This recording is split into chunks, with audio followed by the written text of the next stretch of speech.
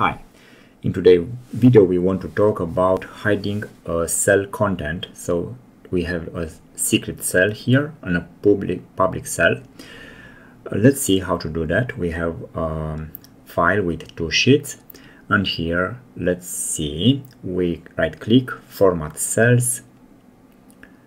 We go to cell protection tab. And here we check everything. We want to hide a formula um, the content and even from the printer. Uh, let's see we will not we we can't print anything because um, the printer will not see the content will be hidden. Another step is to go to tools protect sheet or from here right click and protect uh, this sheet which is containing a secret cell. So um, you can see now we can read the content of the cell but after this step we cannot do that. Let's set a password. It's very important to remember this password.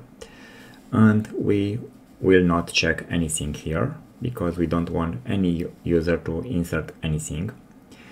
So now if I'm clicking inside the cell I cannot print but I cannot see anything even in the formula bar or in the cell content.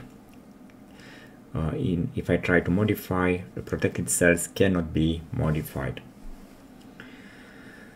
So that's all.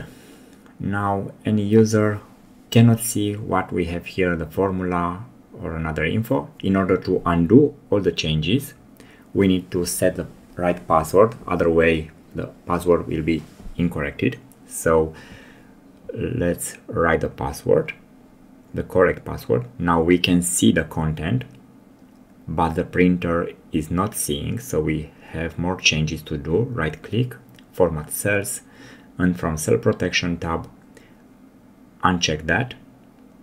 So now the, the printer will see the content. Uh, one more step to do. Uh, hide all let's uncheck everything because we wanted to undo all the changes about hiding uh, cells. So it's very easy to protect cells or undo that changes in our document. That was all. Thanks for watching and please subscribe for more video. Thank you